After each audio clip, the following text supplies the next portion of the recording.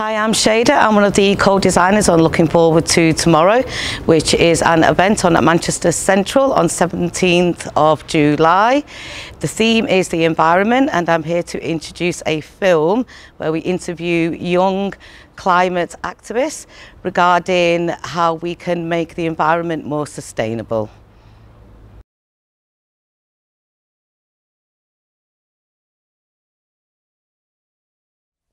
Hello everyone, my name is Emma Greenwood and I'm a youth MP and climate activist from Bury. I'm very excited to be in Contact's Space One to host this conversation from Manchester International Festival and Contacts looking forward to tomorrow. I am joined by three other brilliant climate activist campaigners from around the world. Debby Adegbile, Dominion Adegbile, Genesis Whitlock and Mitzi Jonelle Tan. Before we start, I think we should get to know each other, so let's check out our at-home introductions. Hi everyone, I am Mitzi Jonelle Tan, a 23-year-old full-time climate justice activist based in Metro Manila, Philippines. I organize with Youth Advocates for Climate Action Philippines the Fridays for Future of my country and with Fridays for Future International. My country is one of the most vulnerable countries in the world to the climate crisis. Growing up, I remember the typhoons just constantly banging on our doors and our windows. It was something that I was so familiar with. But I really became a climate activist in 2017 when I was able to meet with our indigenous leaders. And he was telling us about how they were being harassed and displaced and killed and militarized. And ever so simply, he shrugged and chuckled and said, That's why we have no choice but to fight back. And I realized then that he was right. I had to join the collective struggle for a better planet and for a better future. Hello, I am Adegbile Deborah. I'm a 13-year-old climate activist living in Lagos, Nigeria. I am from the to Ocean movement. I became involved in climate activism through my participation in the Summit for Empowerment, Action and Leadership in June 2019, where I learned more about the environment. Thereafter, I resolved to become an advocate for the ocean and climate matters. Other activities I participate in as a climate activist are tree planting exercises, beach cleanup exercise, um, upcycle and recycle drives. And I also sensitize my peers about climate change and the dangers and harms it can cause to our environment. Because climate activism is my passion, is my way of making my voice heard on behalf of my generation. Thank you. Hi, I'm Adegbile Dominion. I'm 16 years old and I'm a member of Restore Ocean. Climate change is an issue that affects almost every Nigerian, but most people don't know about it. Sometimes we go out and you see that the weather, the weather is hotter than normal. This has affected a lot of people, but people don't take pay enough attention to it. I became passionate about climate change when I was able to join the Summit for Empowerment, Action and Leadership organized by Restore Ocean in June 2019.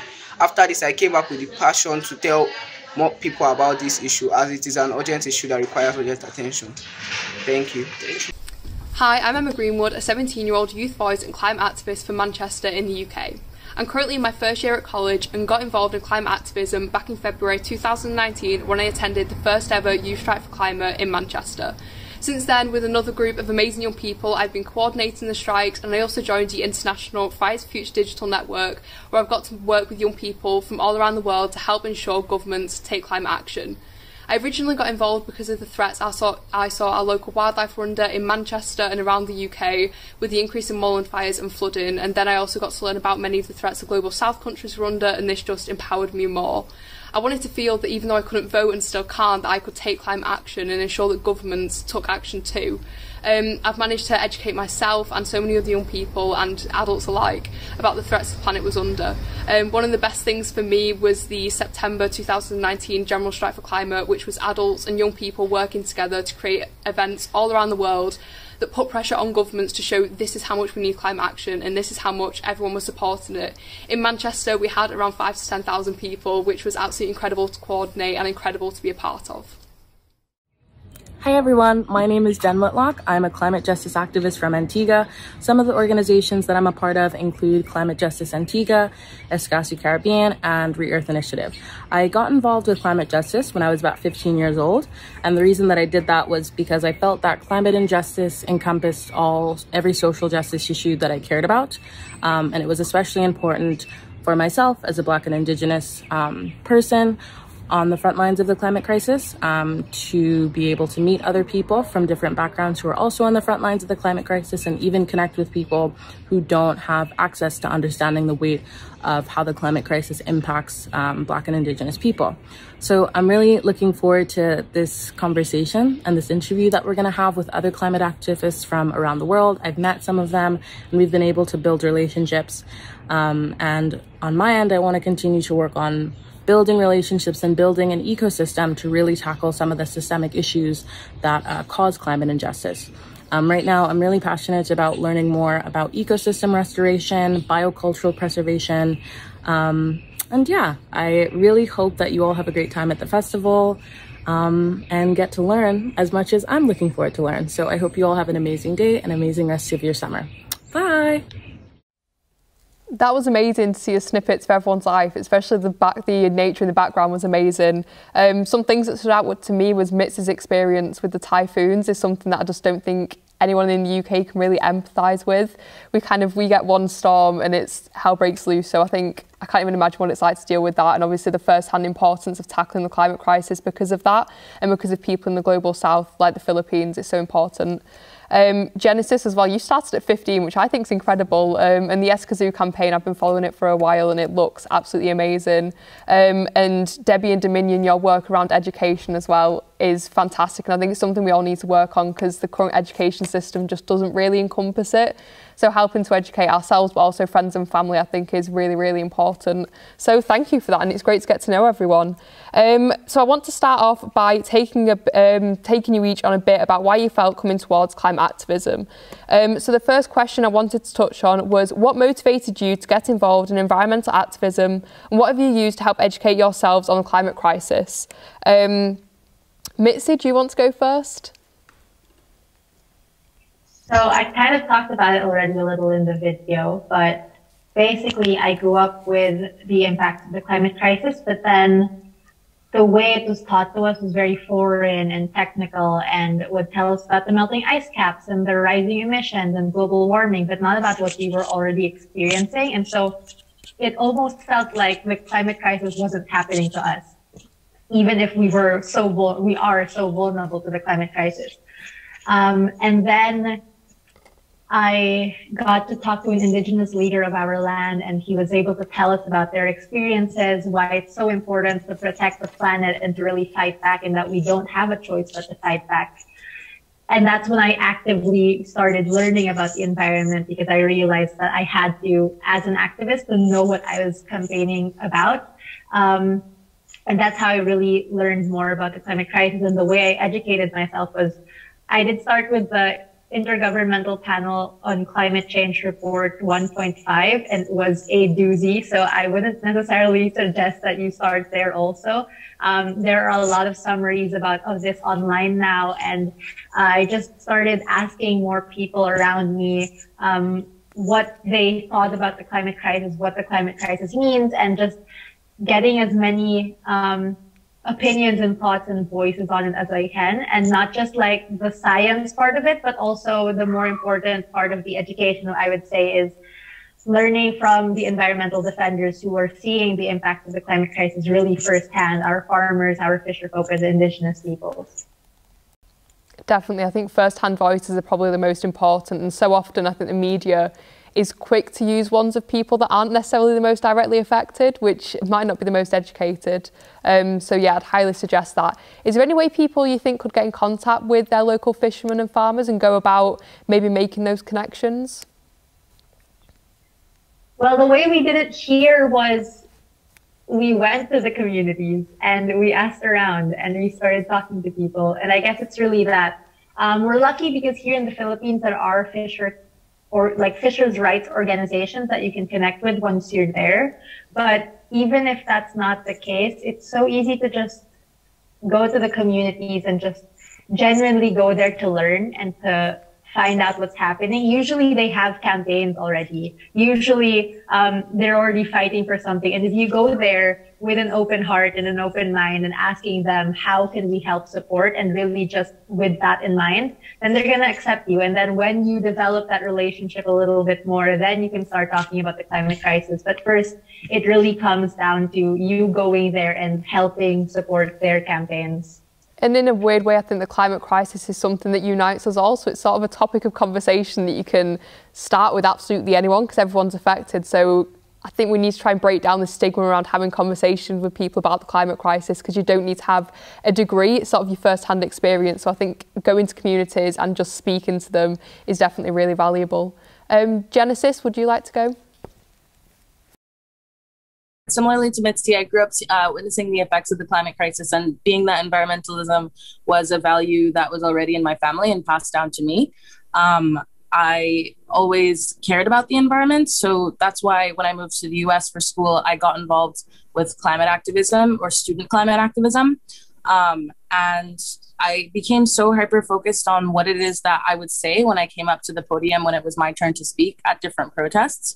Um, and it so there was a point in time where I was like reading all of the different like UN reports and toolkits written by other climate activists and trying to be literate in um, climate science. But then uh, there was a point where I had to look within and realize that because I had already witnessed the impacts of climate change and I myself was a Black and Indigenous um, person who had been on the front lines of the climate crisis before, and my family um, is still there. I started to have conversations with my grandmother and with my neighbors and with other people um, and other young people who I knew had experiences that they didn't necessarily have a platform to articulate. So, um, stories have been one of the largest pieces of, um, I think, artifacts or like historical.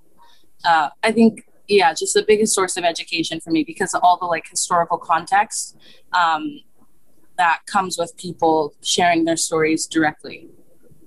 That's amazing. Uh, it seems like a very white and Western view that education only happens in a classroom or via like papers, which in a sense just creates this huge class divide about who can accessibly become a climate activist, which isn't true at all because I think communities hold so much power, as you and Mitzi have said, towards teaching us about kind of the climate crisis, especially Indigenous groups who've lived off the land and have seen over the years the change that's happening. So yeah, that's that's amazing to hear about. Um, Dominion, wrong name.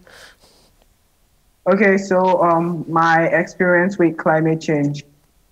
Um, so climate change is something that affects us. I think most times daily, especially when it rains.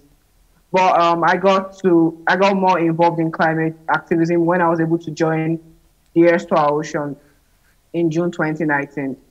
Um, before this, I heard a lot about climate change because my mom is an environmentalist, so she walks um, around the coastal areas and she gets to hear the stories of people about how um, the there are some about the high tides and um, sometimes when it rains, in my own personal experience, it, there is floods all over the um, street. So sometimes when we have to go out or we have to go to school, we have to get carried on by our parents, sometimes on their backs and stuff like that.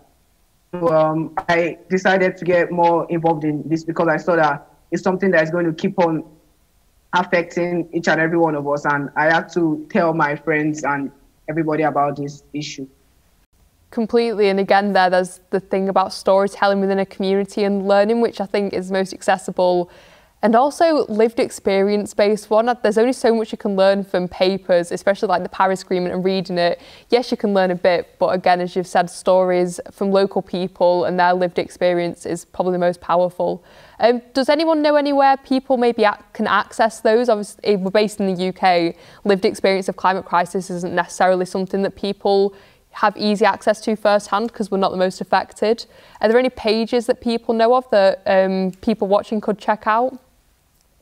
Um, I can go. I'm sure like our different national groups and organizing groups um, uh, talk about the situations in our country. So I'm going to start and um, plug YACA Philippines, which is YACA Philippines, which is the account of the Fridays for Future group here.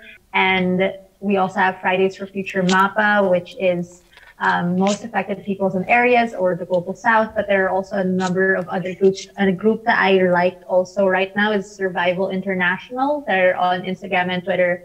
Um, and they talk about indigenous rights and the climate um, and biodiversity. Um, those are the ones that are coming to my head right now, but there are a lot online really. No, they all sound and amazing. I think the others probably have like something to say for that too. I was going to say, does anybody else have any local groups they'd like to plug or people should check out? I think Climate in Color is based in the UK, and they're really great at just um, providing like BIPOC perspectives from the UK and integrating, making sure that um, BIPOC voices are integrated into environmentalism in the UK. I think Choked Up UK is another one. That one is started by or Destiny. They are a climate. They're a black climate justice activists from the UK, and they specifically focus on how air pollution affects Black communities uh, or BIPOC communities in South London. And so they have addressed like environmental racism, how that manifests in the UK. Debbie, do you want to go and share a bit about what you've done around climate education? Yeah, sure. Um, I was motivated to become a climate activist when I joined the Summit for Empowerment Action, Action and Leadership, organized by Esther Ocean in June 2019. Thereafter, I, resolved to become an advocate for the ocean and climate matters. Before that, I have had an experience with um, climate change. When I was just nine years old, I became asthmatic and had to go to the hospital several times. I had to be admitted in the hospital. I missed school a lot of times, and all this was due to air pollution in Nigeria. Um, many people use generators in their houses their compounds because of the um, unreliable light in Nigeria. So almost every family had a generator in their house, so it caused a lot of problems for me when I was much younger.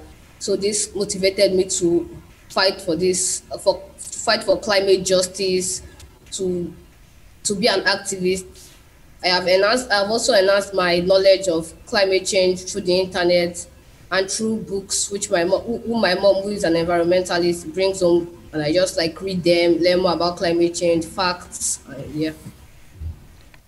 That sounds perfect, and uh, yeah, that that first-hand experience around the effects of air pollution is something that we very rarely deal with in the UK. I know there was the case of um, Ella Kissi-Debrah who died a few years ago as a result of air pollution. It was ruled last year.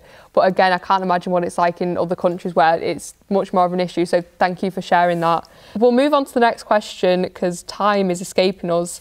Um, we were gonna, we were wondering what some of the current impacts on climate change where you live. I know this has been touched about a bit before, but I think it's really important that people within the UK see that there are other places, I suppose, around the world that are dealing with much more severe first-hand effects of the climate crisis. So I don't know if Genesis, you wanted to go and touch on your experience.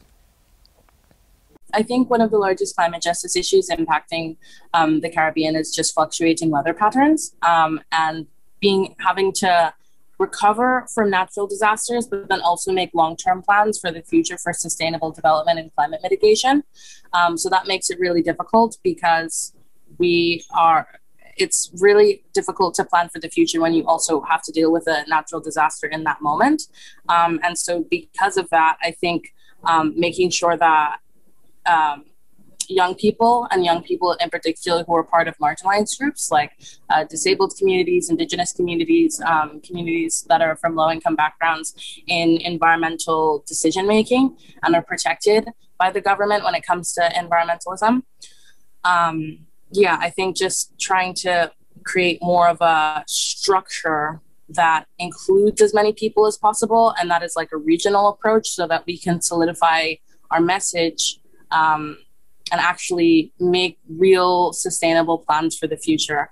Um, but yeah, I think that's sort of why trying to restore from colonialism is so important because so, that's the most that's the easiest way that we can see sort of see a common thread of where a lot of our issues came up and then be able to restore and then uh, work towards transformative justice and sustainable development and climate adaptation and all the things that we need to see in the long term a bit later, we've got a question, obviously, what global north countries should be doing to tackle the climate crisis. And I think that links really well into the effects of colonialism on countries and how we need to work, obviously, to not only restore that, but then also work towards sustainability, which is something that global north countries have the privilege of doing without having to recover.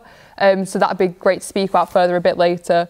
Um, Dominion, do you want to add about your experience? Yeah, so like I talked about before, I talked about um, flood. So even today when I woke up, like I have to go to school today and it rained today, so um, I kind of had to and get into this flood, but I had to wait till it subsided, so I was a bit late for school today. So flooding is one of the biggest issue um, because most times the drainages are blocked. And apart from that, also changing weather patterns sometimes you go out and it's really hot in Lagos. I mean, seriously hot, and I don't know. Sometimes I feel like I don't want to go out again. So um, yeah, these are the issues that we face in Lagos, Nigeria.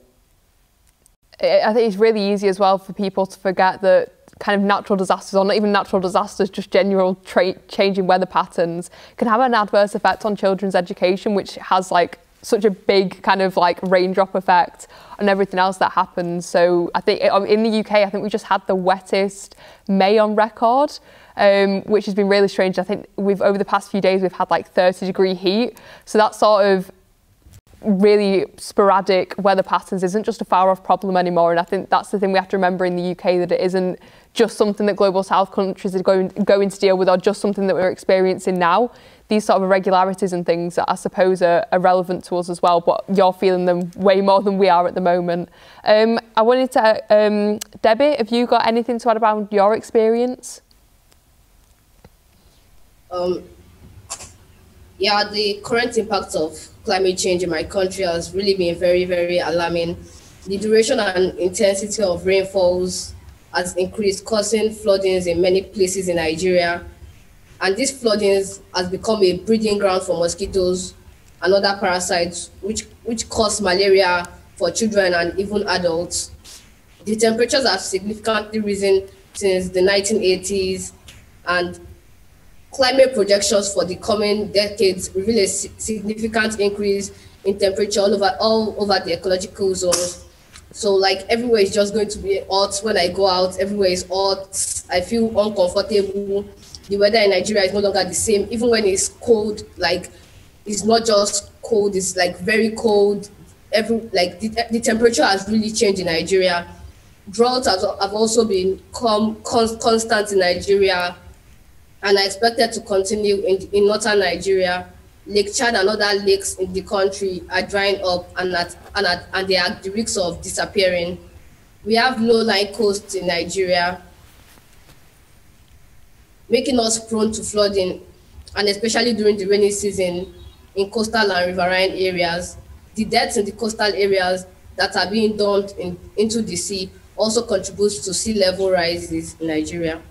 No, and thank you, and thank you for sharing that. It's yeah, the, the extremes that we're having at the moment, especially global south countries, sound really difficult to deal with, and it's something that I don't think we can adapt to as quick as the climate is changing, which is probably one of the most alarming things. And to have to live with that, I can't imagine how difficult it is. So thank you for sharing. Mitzi, I know you touched on the typhoons in the Philippines a bit ago, but I don't know if you could tell us a bit more detail about what it's like living with that. Um, I guess I can. I, I can only say what Genesis has already said. Really, um, more than the extreme weather events, more than the typhoons and the the the um, droughts that we're experiencing, a lot of what makes us so vulnerable to the climate crisis is how we lack infrastructure, um, how we lack ways to adapt, how we lack ways to um, deal with the impacts of the climate crisis, mostly because of us still having to recover from colonialism or still being under neo-colonialism. And so really the way to tackle the climate crisis, the way to um, achieve climate justice is to decolonize our cultures and to have our colonies and neo colonies be liberated um, so that we aren't tied to um, the global north countries anymore. We're seeing how, um, you know, it's something so simple. Like, like I remember I was preparing for one of the, what was called the strongest typhoon of the year last year Um, and my global north friends were like, "Hey Mitzi, um, go fill up your tub with water." And I'm like, well, "I don't have a tub." One, two is like, "Why would I fill up my tub with water?" And they were like, "So you have drinking water um, when you get trapped inside your house?" And I'm like, "My tap water isn't drinkable. That would be useless to me." And it's it's these small things that people don't realize. It all adds up together. It's how our evacuation centers our schools and churches and gyms.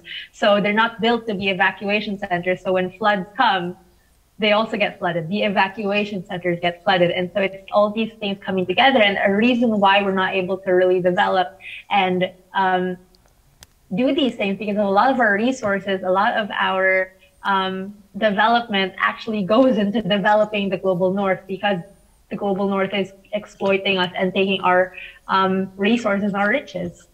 Yeah, and I can't imagine how COVID as well has affected that. I think I saw um, towards, I think it was the start of last year or maybe a, a, bit into the pandemic that you had a typhoon and obviously the effects that that had on aid and things. Could you touch on that a bit? So at some point, one of the typhoons last year, we have about 20 per year. Um, there were around 23 last year. So one or two of them actually hit a few of the COVID testing centers.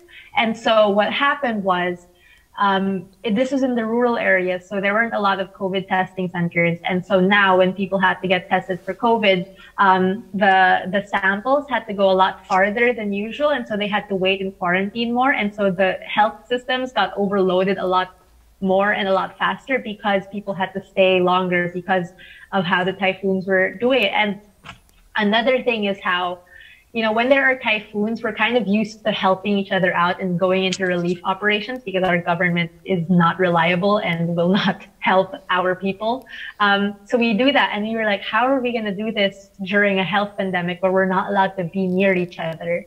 Um, and it's just this whole thing. And it's not just that, it's also just the emotional trauma of these typhoons and the climate crisis and not being able to comfort each other in the physical way um, there's also that, that, and that has with the COVID pandemic, and it's really just showing how, you know, with COVID, since we're on the topic, it's the same thing that's happening with the climate crisis, with the COVID vaccines, that the global north countries who um, are least vulnerable to whatever crisis, they're the ones who are getting all the the um, the vaccines. They're the ones who are getting all the renewable energy. They're, you know, it's it's this, it's the same system, and we really have to start seeing the similarities and not stop seeing the climate crisis as just an environmental issue, but really a systemic issue. And it links into everything as well. Obviously, climate justice is social justice, and I'm sure people watching have probably heard that phrase before because it's so intersectional, as you said, obviously the interlinks of COVID and the climate crisis and the effects of natural disasters on the COVID response. Nothing is isolated in that sense. So everything that is happening has knock-on effects that run throughout society and around the world as well, because nothing with globalization, nothing, no country exists on its own anymore. So we have to, I think, stop thinking about it in such a, a an isolated nationalistic sort of attitude and think what we need to do on, on an international level and through global collaboration to try and tackle the climate crisis. And obviously hearing all the stories around the natural disasters I think we can see that. So thank you everyone for sharing. Um, the next question we wanted to touch on was around what would you like to, to see privileged global north countries do in order to work towards climate justice? So this links pretty perfectly into the decolonialisation aspects that we um, spoke about just a bit before. So I don't know if Dominion, you wanted to start about what you think global north countries should be doing? Yeah, so um, what I feel um, countries that are really affected by these climate issues, um, I guess they should advocate more about it because um, we're advocating here. But if people around the world are able to um, know more about these issues and um, know how, um, like, feel, I guess, feel the way we also feel, like, know, like, just, I guess they should speak more about these issues because is a global, it's more of a global issue that I guess it might still come up in other places, maybe later or something like that. Yeah, so I think people should speak up more about these issues. Conversation is so so important when it comes to tackling the climate crisis. And um, Glasgow in the UK is set to hold COP26 at the end of this year obviously COVID situation dependent. Um, but I'm hoping that'll spark some conversations especially within the education system in the UK because at the moment I think one chapter at the end of my science textbook for my GCSEs was to do with climate change or anything like that and it had no perspective of global south countries or the actual impacts of climate change. It was more of just the theory behind it and so conversation and going into that and even in just around the dinner table it doesn't need to be this really intense conversation where there's loads of stigma around it. It can be casual conversations about what people can be doing in their everyday life to make changes and obviously to help global south and, and developing countries to adapt and kind of I suppose recover from colonialisation as well as you've said. Um, Debbie do you want to go? I would like to see um, privileged global north countries I'd like them to reduce air pollution and greenhouse gas emission, reduce production of plastics, create awareness, and engage people in climate action. They should also create strong policies and laws that would help in curbing the impact of climate change so that they can set an example for other um, less privileged countries to take action on. Yeah definitely that's yeah all very very valuable. And i think this links into mitzi as well and the standard charter things so many of the uk's banks are some of the biggest fossil fuel polluters. So i think barclays is the second worst bank um it's the worst bank in europe for fossil fuel polluting anyway. So that's a big way that i think the uk needs to step up in that sense. And it's something that people watching as well can look into and see where their banks are investing and it's small changes like that that you can make as an individual that do have a much bigger impact than I think we see. Um, but also, as you said, systematic change and all of that is, so important as well. So contacting MPs and joining organisations like all the amazing people um, who are on the panel today are a part of can be a huge change as well. So um, Mitzi, I don't know if you wanted to touch on some of the standard charter work you've done as well. So yeah, definitely. Um, Standard Chartered Bank is a UK bank which most people in the UK don't actually know of or have heard of because most of its market is in um, Asia and Africa, basically in MAPA or the global south. Um, and most, and, and not most, sorry, it's the third largest UK fossil fuel bank actually, next to Barclays and HSBC. And it's also the one that like with their CEO Bill Winters, they're calling him the most sustainable bank person.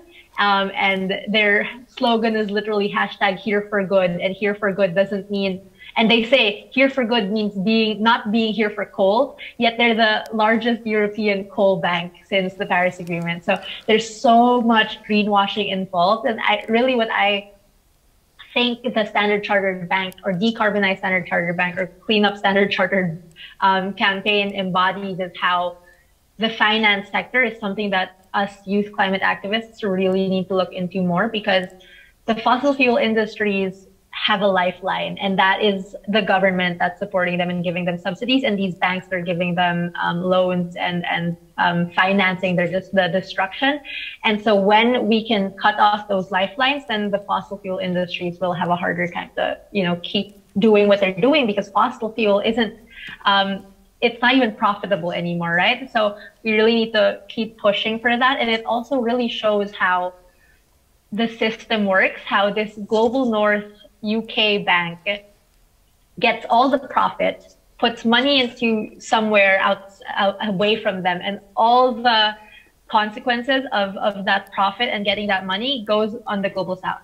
So it's exactly like the embodiment of the system that we have where money is poured into whatever um, the global north gets money and then um, the global south has to deal with the consequences. And so that's I for me is like the bigger picture of the Standard Chartered campaign, how it represents that, and how we really have to work together, Global North activists and Global South activists, to stop this system. It can't be just solidarity campaigns anymore. We have to lead it together. Um, of course, honoring and making sure that we give the most premium to the most marginalized voices.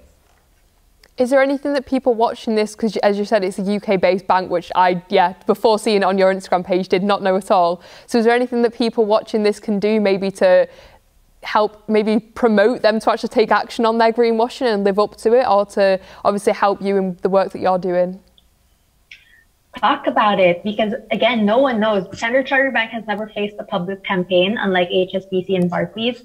Um, so no one has, no one like their campaigns haven't been exposed before. If you're a Liverpool fan, um, they actually fund Liverpool, and so if you can try to talk to your fan mates or whatever, we're actually gearing up to do some work around that. Um, targeting the the Liverpool fan base to realize that the sport and the team that they love so much is being funded by this company that's destroying our future. And so there is no sport on a dead planet and stuff like that. Um, other things you can do is not just look at Standard Chartered Bank, but really all the banks that you guys have there, more or less, there is a bank, like your banks will probably be funding some coal company um, in the global south. So writing emails, writing letters, connecting with groups that are already campaigning against these things, um, that can be really, really helpful. Tapping into the football network of Manchester sounds like the perfect thing to do. Um, it's very strong, so yes, definitely. If people could go out and do that, it'd be amazing. Um, Genesis? I would say that it's about. I think uh, some. I think I'm gonna pick up from where um, Mitzi left off. Like even thinking about Liverpool, I think uh, in the global north, I'm I'm sort of living the experience because um, I've had to be in the global north for school. Um, there are so many options to make uh, climate denial is like a fully funded industry. You know, um, making sure that the climate crisis isn't isn't visible and that we're not aware of it, um, and that it's refined and sort of invisible and affecting people in the global south from far away. Um, it's it's intentional that it's very easy to tune out global south voices and maybe tokenize global south voices um, but i think people in the global north should do as much reflecting as they can to really understand how deeply climate injustice is embedded in their country and the privilege of not being able to see it visibly and experience it directly. Um, so i would say that uh, instead of centering and, and even climate justice activists in the global north instead of sort of centering um, anti-colonialism or anti-capitalism or anti um, fossil fuel in- industry, also making an effort to be pro-indigenous community. You know what I mean? Sort of centering the um, the transformative justice aspect of it. You know what I mean? Uh, yeah. Instead of the idea of climate justice isn't tearing isn't really about violence, but it's really about reimagining and building systems that are about truly sustaining um, everybody in the world. So I think that people in the global north typically like climate justice is way harder to reach because you're like, well, what about my way of life? Now I can't even watch Liverpool. Like, darn these global south people.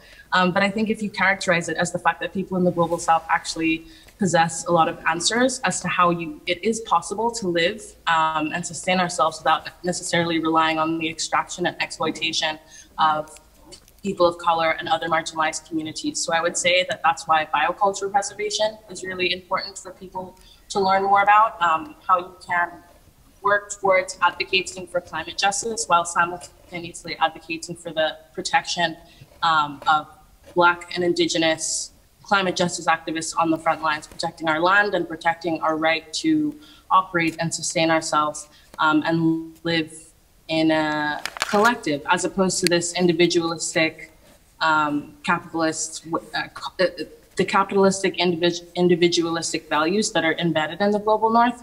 Um, in the global south we typically rely on collective action and being able to utilize the earth and really sustaining ourselves. So um, that's a lesson that i've been able to witness like the differences between living in both the global north global north for school and growing up in the global south. That yeah, that sounds like it'll offer a really unique perspective as well to see the two different systems and how they, I suppose, yeah, differ from each other but also contradict each other. And um, so yeah, thank you for sharing that. That was amazing. Um, we've now got we're on to the final little section now, and it was mainly around one thing that you've done where you felt empowered through your activism, um, or one where you felt you could make a positive change because you're all part of such incredible groups like the Air for Seas or like the um, YACA in the Philippines. So is there anything that you've done where you felt empowered, like you could actually make a change and that people could also get involved in themselves to make change? Um, Mitzi, do you want to go first? I'm, I'm trying to think of specific moments, but um, something that empowers me. Uh, I think it's a lot of moments. It's, it's the everyday moments of activism. I feel like a lot of people think that the best parts of activism are the protests or the mobilizations or the large strikes. But for me, it's it's the everyday conversations with people, um, especially when you start to see people learning and changing that I think is the best thing for me. Like when you have one person, usually related to white saviorism, um, when you have um, white allies starting to realize and starting to be more intersectional, when you see people starting to realize that it's going to hurt as hell and we're going to be unlearning these, as Genesis mentioned, capitalistic views of society forever. It's going to be something that we're going to have to constantly unlearn and be critical of not just white people, but everyone really. We have to be constantly critical of ourselves, but especially um, people of privilege. When you start seeing people understand that, understand and accept that it's going to hurt, it's normal that it hurts. So don't get upset when it hurts and just look for the truth in when you're being called out. That to me is so like empowering and it gives me so much hope. It reminds me that there that everything is possible because we're willing to change and we're willing to learn from each other and we're willing to work together. And when that happens when we unite and our voices get stronger and we become more and more intersectional then nothing is impossible. That's sounds amazing. And I think in the UK, especially over the past four or five years, we've sort of gone from the climate crisis not really being spoken about in the mainstream media. If it was, it was quite niche and few and far between. Whereas I think the progression we've had to now where it's something that's spoken about probably every day on the news. There's some new climate finding or there's some new research being done or invention being done. And I think that in itself is empowering to see the change that can happen when people use the voice and through the striking, which is just one aspect, but also just the international pressure and the fact that it does actually make a change because it's so easy to dismiss it but the first-hand things that we're seeing where there just is this increase in conversation and the fact that things like this, like events like this are taking place in itself shows the power that it has. So if anybody's thinking of getting involved, you can see the true power that it has in just promoting conversations like this and enabling young people and, and adults alike from around the world to work together. So yeah, thank you for sharing that, Mitzi. Um, Genesis? So I think what makes me feel the most empowered is when I act in alignment of the environment. Um, and I think I, have also had to do, um, Mitzi said this earlier, and I think it's important to emphasize like unlearning and really trying to decondition and reimagine takes a lot of internal work.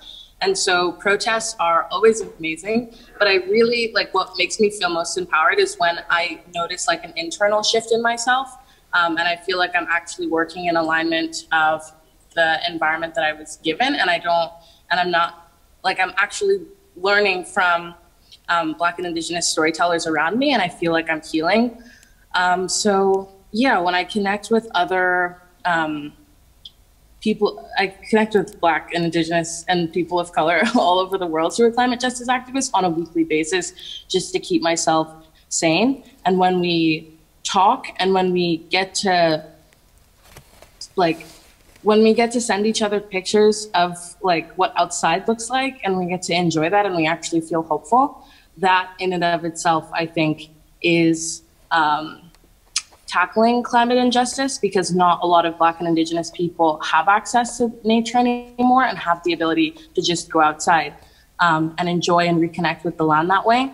Um, and i also just love like counteracting capitalist norms when on some days when I don't really have to worry about going to work and I can just garden with my grandma and we can just tell stories um, and anybody can come in and anybody can have like extra fruits, fruits if they want to. Um, that always just feels nice to me. And there are very few moments when we get to do that now because of the pandemic and because Earth Day just passed and like working, um, like we have to maintain some sort of momentum. But I would say that I'm really thankful to still be able to prioritize my culture and um, the cultural aspects that environmentalism brings out for me. That is sort of what like helps me sustain when work gets a bit like out of sorts. Um, but yeah. Your Sundays sound beautiful. Gardening and stories with grandma sounds like incredible. So yeah, I'd love to be a part of that, but that sounds amazing. And obviously, yeah, resisting the capitalist instincts and working on yourself internally is just as valuable as doing collective activism. Uh, so thank you for sharing that. Dominion. So what makes me feel most empowered is um, knowing that people are beginning to um, take action. I'm beginning to see young people like me um, trying to advocate for um, this issue because it's a global issue. It's um, it's an urgent. I, I'm happy that I'm seeing people take action because it's not um, a future issue or anything. It's an it's something really urgent. So I'm happy that um, when I go out, sometimes I'm seeing people also doing the sim- similar works to the same work that I'm doing, and it just makes me happy. Yeah. Thank you. And Debby, do you want to go? Yeah, one moment where I um, always feel empowered is like what Dominion has said. When I see other young people like me taking action, they are not just like hearing about it. They are they are being proactive, not just like listening, not just watching their environment get ruined. And um, yeah. No, thank you, and yeah, thank you all for your contributions and your suggestions. And I really hope that this has been useful for everyone watching as well. And definitely go and check out the um, Instagrams and channels that Mitzi promoted at the start to help educate yourself and just simply open up conversations coming from this. Whether you go home and you tell someone about that you saw this talk and what you took from it, that in itself can stimulate a really, really important conversation that can help with all the work that everyone on this panel is doing here. So yeah, thank you everyone. Um, and hopefully this is a conversation and thinking that the audience can continue in their own lives and following this chat. Um, so finally, we wanted to do um, a section on looking forward um, statements, which is all about looking for hope in the future and seeing what we can do better. Um, so I'm going to kick it off and go looking forward to tomorrow. I hope that we can begin to work towards meaningful international collaboration to tackle the climate crisis. So every one of the panelists has their own um, looking forward to tomorrow's statements. So um, Debby, do you want to go with yours first? Yeah, sure. Looking forward to tomorrow. I hope to see a world free of any form of environmental pollution. Thank you. Dominion? Looking forward to tomorrow. I hope to see a world filled with um, filled with cooperation where everybody, even the privileged ones, are able to identify with these issues of climate change. Genesis? Looking forward to tomorrow, I hope to see people from all aspects of life, regardless of their experience with climate, uh, climate injustice. I want to see people working as an ecosystem to dismantle systemic issues that cause climate injustice.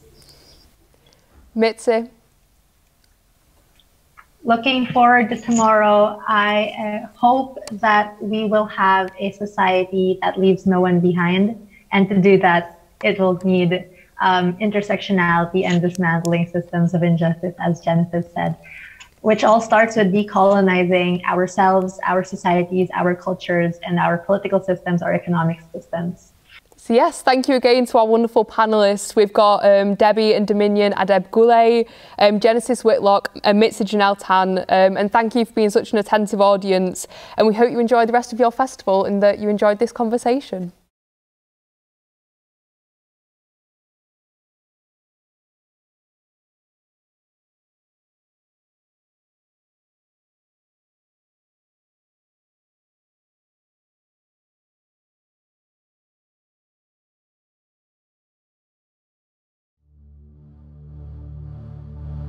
It's been fantastic just to be involved in the group and be able to join Zoom sessions like weekly, be with like a whole group of eclectic people was really useful and just hearing everyone's ideas and what everyone cares about as well. So for me, it was like an additional community that I had available to me whilst we were in lockdown. This group, although, you know, since the start of the project, we've never had the chance to actually meet in real life, I feel like as a group, it feels really supportive and very, it feels like a nice hug. Personally, the experience mostly has been about meeting new people and getting to hear people's different life experiences from all different age groups and different walks of life. It was great just to see like the energy in the room and all the ideas kind of like flowing and spinning around. What we're doing kind of feels like it's contributing to like a, a bigger thing and like actually making, having an impact. Everybody's brought something different, which has then maybe changed the way you thought about something or sparked a different idea. These themes uh, they're massive, they're so big, and they, they've got so much, each one of them has got so much to unpack within itself. You see your ideas or your conversations or even your opinions sort of influ influence someone else's idea to, to, a, to a point where it actually becomes something tangible. I think that's really beautiful. They're both themes that are things that are really pressing issues that people need to take hold of. In a way to kind of avoid it being about like suffering and going down a darker route. It's like a focus on black joy for the equality one, which is uh, really nice. I really like that. And then for the environmental one, I think that's just because it's something that affects everyone. It's happening all the time. That's one of the cool things about the event is it is relevant, but not in an extremely political way. But at the same time, you are we are talking about things that like matter and are important. Ultimately, I just want people to have have a good time and enjoy connecting with others ask loads of questions, be intrigued, be confused, because when you're confused, it means that you need to figure out what's what, and that's an, an amazing journey to go on. There's going to be so much opportunities for, for the people that uh, that come into the space that, that is being created to, to, to talk as well, which means that we're going to hear more new things and, and, and, and experience, hopefully experience some of the things that the audiences will be experiencing for the first time as well. There's people out there who are willing to uh, support and guide and help. And just because you don't know something about something, that people are not going to be negative about that. They're going to welcome you in and go, well, come here, let me tell you a little bit more about it. If you, you share the problem and like break it down, it can start to look much more solvable, much more, um, yeah, something that you can manage and deal with. But like this just feels like everyone. And it's like the first time I've been in a group like this, where it's just like you get scope of everyone, different ages, different like creeds, nationalities. It was just really cool. But yeah. Event which to us is sort of coming to an end, but for other people it's the starting point for them. They're going to um, take part in these things and it's going to be sort of a, yeah, set the ball rolling for them. I hope that the audience will take away knowledge, connections, and action. Through my three words, um, you are heard. Listen, collaborate, and create. Growth, excitement, and an opening. Inspiration, joy, hope. Energy, motivation, agency. Positivity, confidence, and empowerment. So I'd say positivity, sense of empowerment. I mean the word listening. I don't know. I don't know what the active word of that is, but I want. I think people will go away from it with the sense that they are open to listening a little bit more. I think it's more important just for people to feel like there's a kind of like collaborative air and the sort of unity and that we can kind of all face the future together to tackle these problems.